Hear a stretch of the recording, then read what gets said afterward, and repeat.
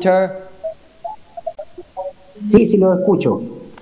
Eh, buenos días, don Raúl. Queríamos, bueno, presentar su caso. Supimos de, de, lo que le ocurría a su familia la semana pasada, justamente lo que le ocurre a su madre, eh, quien está esperando hace mucho tiempo una operación. Queríamos consultarle eh, cómo era este caso el de su mamá y qué es lo que ella necesita. Bueno, eh, primero que nada, muy buenas tardes o buenos días. Eh, bueno, mi mamá eh, sufrió un accidente automovilístico, el cual la atropellaron a ella. Eh, ella la atropellaron y a raíz de eso quedó coja de un pie. La operaron, le pusieron platino, pero nunca pudo caminar bien. Y esa cojera se la llevó a la, a la otra pierna, lo cual ahora está incapacitada de poder, de poder caminar. Hemos buscado por todos los medios y no podido lograr nada. Un caso bien conmovedor, yo creo que igual estamos como familia, estamos sumamente protegidos por la, la situación de que es. No puede caminar, ella la, la artrosis en ambas rodillas.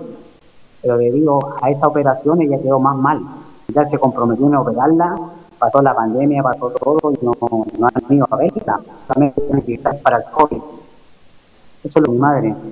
Y también lo que yo le contaba ella vive con una persona de cepa actual, hace 15 años, está postrada, está con la pura cama que le han hecho al hospital. Más mi hermana, que es deficiente mental, tengo todos los papeles de eso y ellos están votados como personas de tercera edad, como mayor. No tenemos más recursos. No sé cuándo la pueden operar. Fuimos un reclamo para mi hermana el día viernes y en cinco días más lo dan la respuesta, por sí o por no, o si no habría no.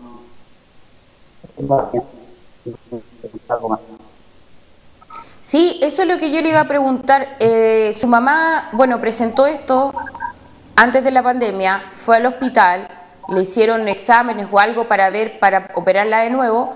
¿Qué fue ahí lo que, la respuesta que ella le dieron? Que la iban a operar, que tenía que seguir eh, haciéndose exámenes.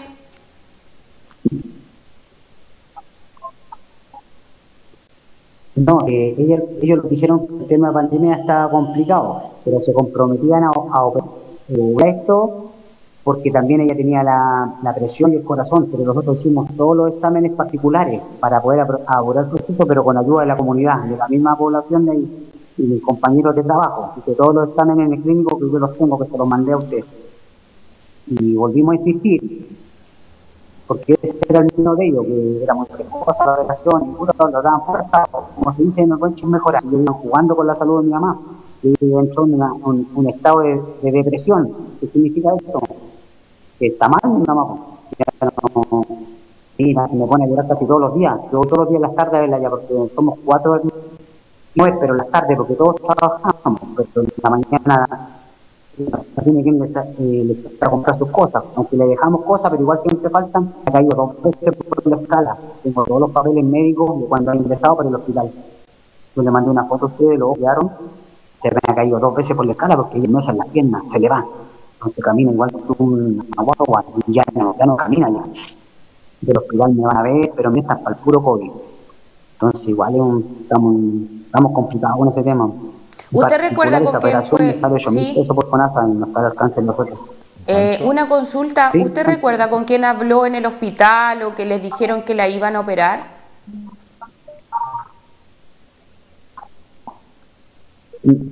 médico traté nomás, pero fue de vacaciones, andaba mejor siempre un ambiente médico que no ah, me ponen puro pero. Yo he ido todas estas veces al hospital, mi hermana también, pierdo mi día de trabajo, he perdido hasta dos días de trabajo Ahí está la, la, historia de la madre don Raúl. ¿Y cómo está ella ahora en lo personal? ¿Cómo está su madre? No sé qué le dice, qué le cuenta. ¿Está muy frustrada? ¿Cómo lo toma ella? Porque igual ya harto tiempo que no ha podido realizar su operación.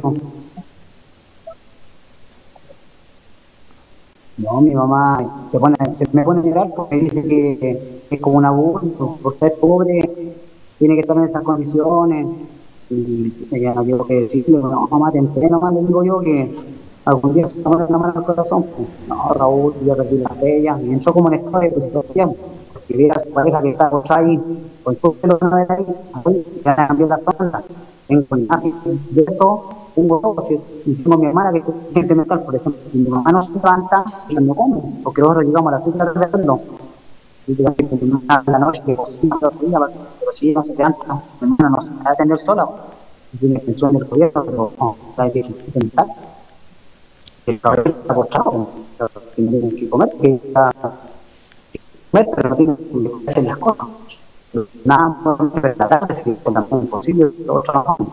Claro complicado ahí lo que le pasó a la madre de Raúl. Complicado. Porque, bueno, y usted... Eh, sí, eh, lo que yo le consultaba, que claro, tampoco uno de los hermanos o hijos de ella se puede hacer cargo de ella, de llevársela, porque ella está con su pareja, que presenta problemas, postrado, y también con una hija con problemas. Entonces, finalmente, no es solamente sacarla a ella de esta situación. Son tres personas y dos personas que están dependiendo de ella que lamentablemente está con muchos problemas. ella, lamentablemente, como dice Raúl. Sí, sí.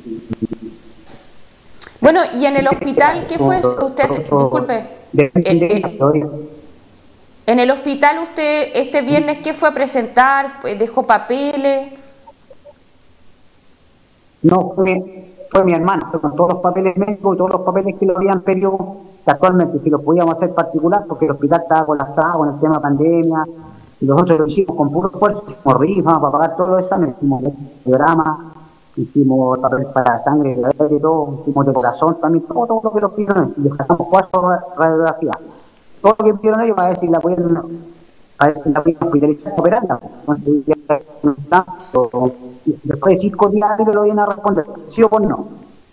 Pero hasta ahí no llegamos tengo el papel de registro, que, que, que ella está empezando el 2018, lista espera, lleva cuatro años esperando el problema que le pasa harto lo que dices tú, Raúl, porque como dices, se ha colapsado con el COVID los, los centros de salud, los hospitales, y de repente se postergan este tipo de operaciones que son fundamentales para, para muchas personas, sobre todo adultos mayores que necesitan la movilidad.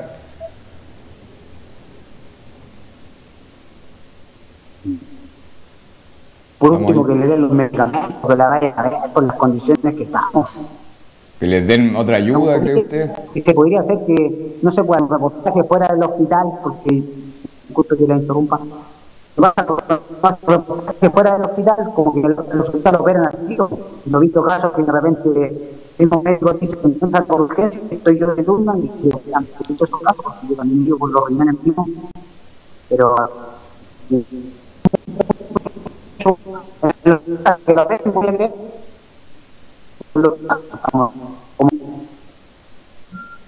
un caso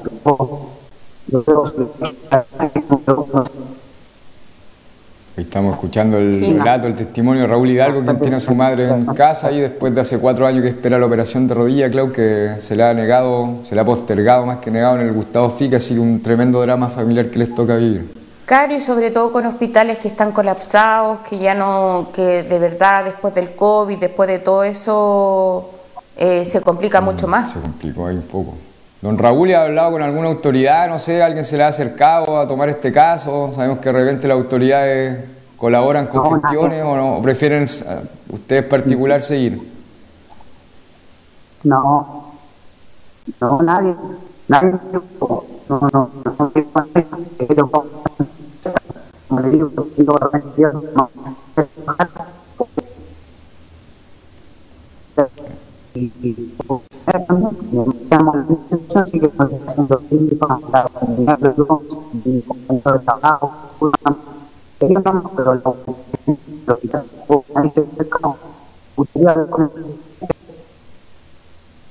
Estamos escuchando.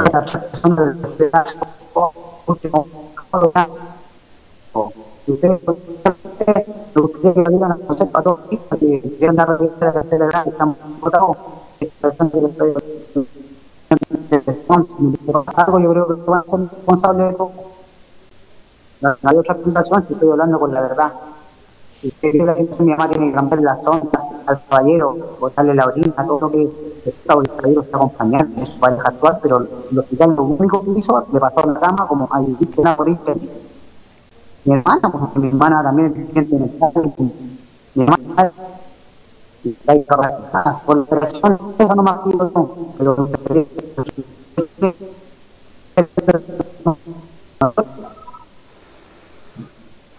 Raúl. Sí, ahí está don Raúl, ahí lamentablemente la conexión, agradecemos, la conexión no es muy buena. Pero se, eh, pero, se, supo, el caso, se, supo lo del caso, su madre está esperando hace cuatro años una operación para poder subsanar una, una cojera que empezó mm. luego que la atropellaran, en la calle. Eh, y así por cuatro años estaba esperando esta operación, luego vino el COVID, no lo operaban, finalmente ellos lo hicieron de manera particular, todo el, todo lo que eran sus exámenes, eh, pero aún así no reciben respuesta por parte del hospital. Es bien lamentable. Ahí estamos. bueno, ahí parece que se, perdió un poquito la conexión. Sí, se perdió un poco la conexión. estábamos con Raúl Hidalgo que nos, que nos explicó, nos entregó el testimonio de su madre que hace cuatro años entonces que está esperando por una operación a la rodilla, Clau, que esperemos pueda, pueda concretarse lo antes posible.